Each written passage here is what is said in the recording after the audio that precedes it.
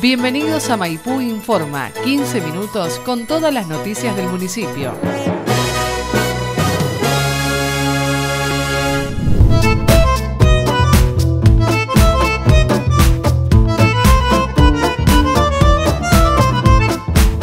Bueno, estamos con, desde la dirección del hospital, conjuntamente con el doctor Carlos Javier Peláez, como su director, que me acompaña en este momento. Eh, los hemos convocado con la finalidad de dar una información hacia nuestra comunidad, porque es nuestra obligación, por un hecho que ha trascendido en forma pública, eh, que ha tomado una gran difusión y me parece a mí que nos corresponde nosotros llevar informe y aclaración a, la, a nuestra comunidad para saber cómo han ocurrido los hechos. Hechos que la dirección del hospital ha tomado conocimiento al día siguiente de haber ocurrido esto es necesario que se aclare.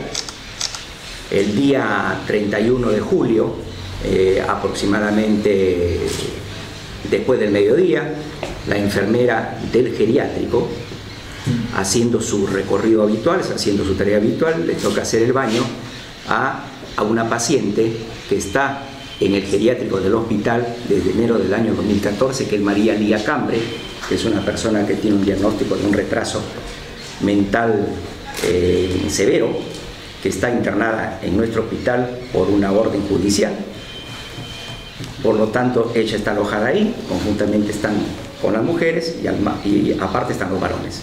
La enfermera desarrolla el baño a la paciente después del mediodía y advierte que después del baño tenía unas ampollas en el cuerpo la paciente, en cuero cabelludo y en el cuello, por lo que después da aviso, después de terminar el baño, da aviso a su jefe inmediato superior, que es la jefa de enfermeras.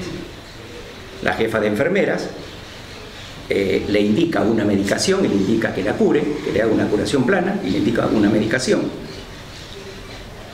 Posteriormente, en el transcurso de la tarde, del turno de la tarde en el geriátrico, no tenemos ningún reporte de salud sobre la evolución de la señora María Lía Cambre al inicio de la toma del turno de la noche tampoco tenemos ninguna, eh, ningún aviso, ninguna evolución.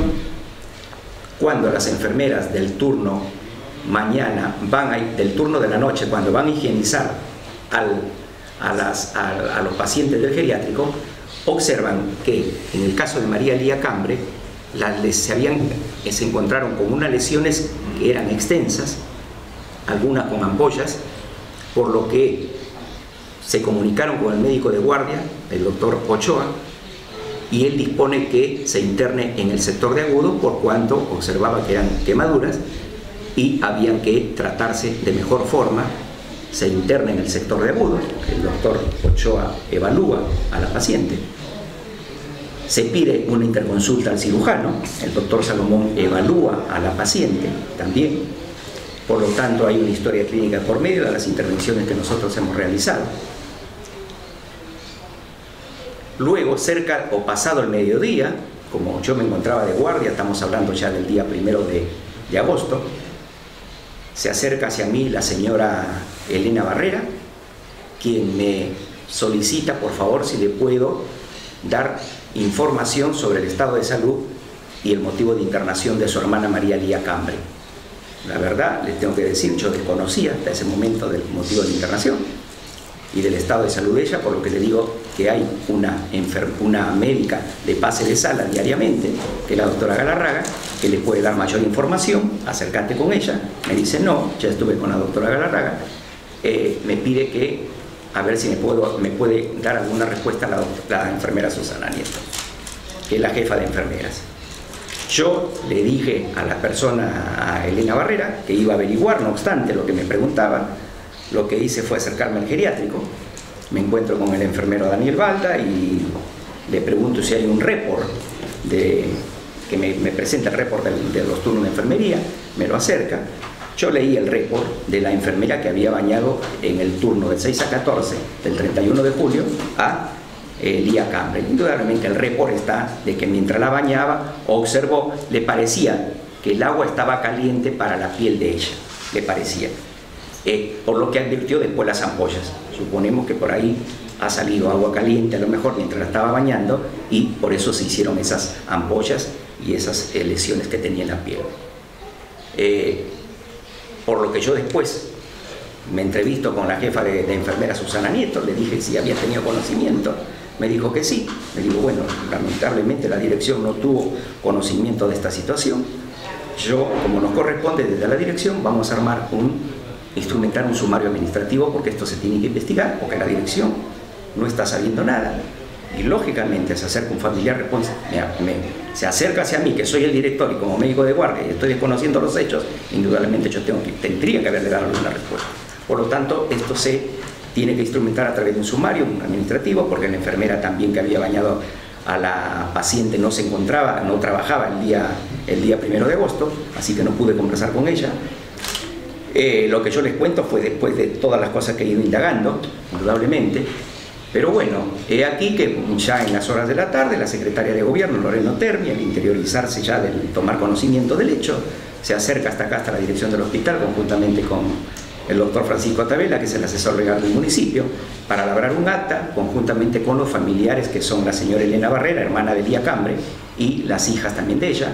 Se redacta un, digamos, un acta acá, con todo lo acontecido, con todo lo que versiones de ellas, versiones nuestras, versiones del director, y a partir de ahí comienza ya un sumario de investigación de los hechos ocurridos. Eh, por lo tanto, esto está en materia de, está en un proceso de investigación en donde todas las personas involucradas vamos a ser llamadas.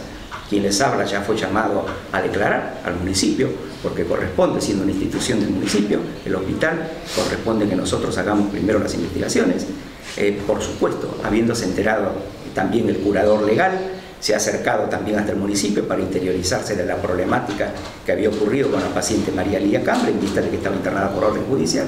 Nos hemos enterado de que hay una denuncia penal de por medio, pero yo lo que quiero decir es que eh, nosotros estamos eh, tratando de clarificar las cosas, de llevar a información a la comunidad de cómo han sido los hechos y creo que el, proceso que se está realizando va a, llegar a deslindar responsabilidades.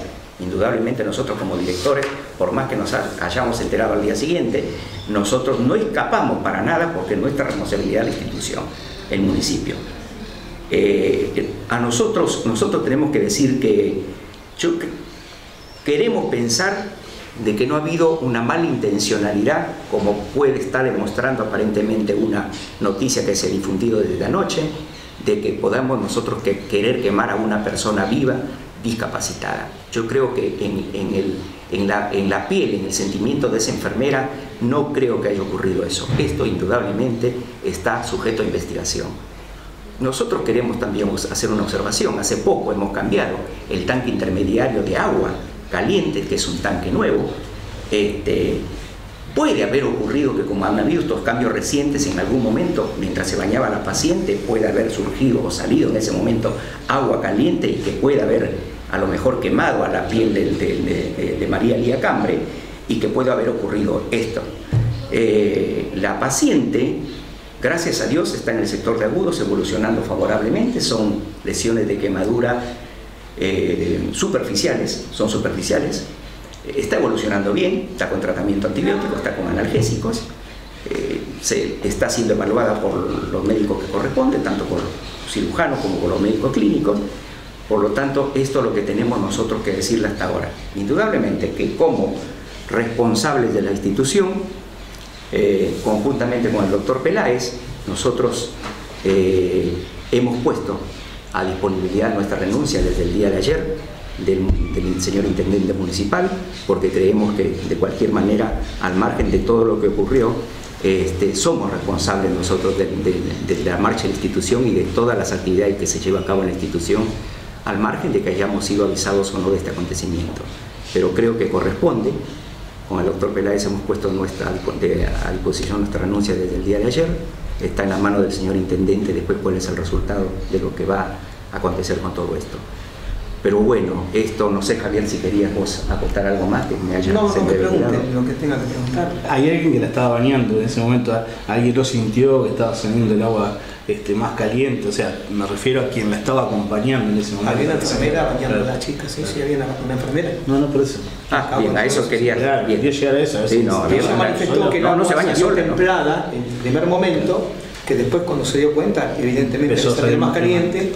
probablemente haya sido como la caldera nueva y como el tanque intermediario puede juntar un poco, supongo, Que lo cambiaron hace poco tiempo. hace ¿no? una Eso, semana, Claro. Sí. que ha salido un, viste, muchas veces nos pasa Presión, Correcto. digamos. y ha sufrido la quemadura. A ver, contra lo que la gente puede creer, eh, la paciente no estaba con la ducha arriba y la enfermera dejó que corriera el agua. Claro, como es eso quiero eso aclararlo. quiero- Como está el duchador de mano y el duchador de mano está instalado a un metro de donde bañan, o sea que el duchador de mano estuvo arriba de la paciente mientras estaba la enfermera. O sea, evidentemente ha sido así. Este, ha sentido el calor del mango y ha dejado automáticamente, presumo, Sí, sí. que eso ha sido así. Sí. Doctor, una pregunta.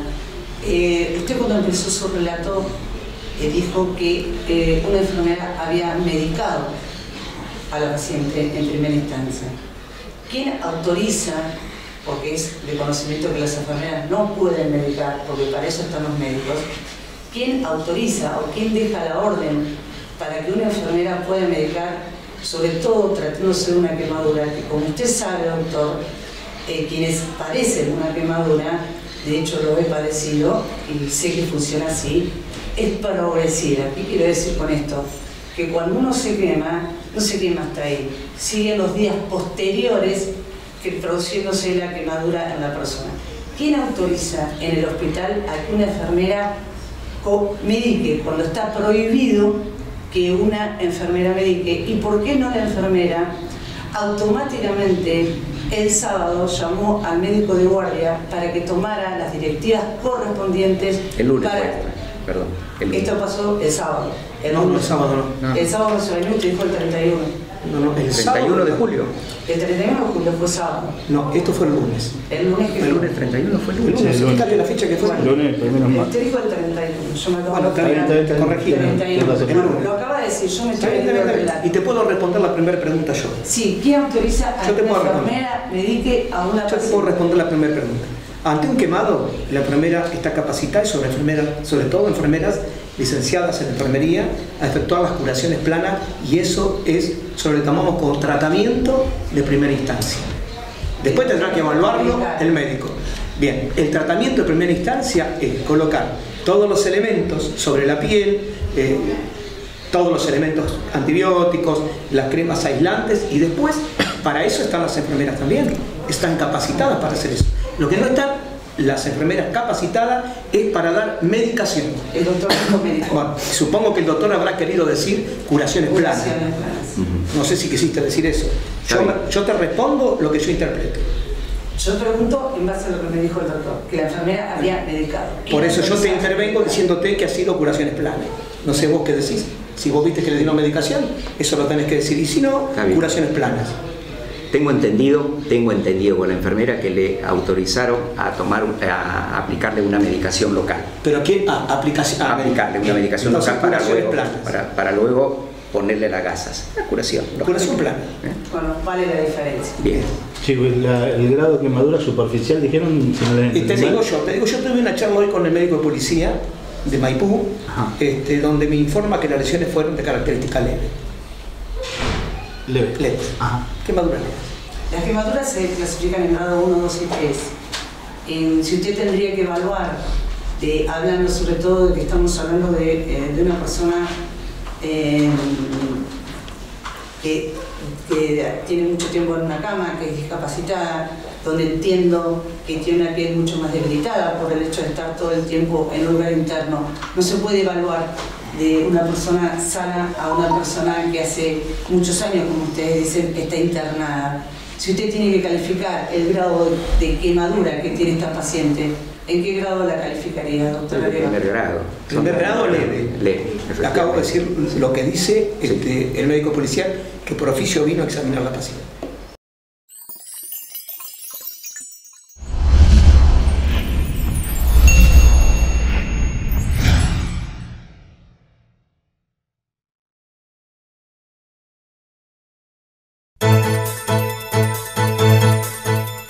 Hasta aquí compartimos Maipú Informa TV, el encuentro diario con más noticias del partido de Maipú. Muchas gracias por acompañarnos y hasta el próximo encuentro.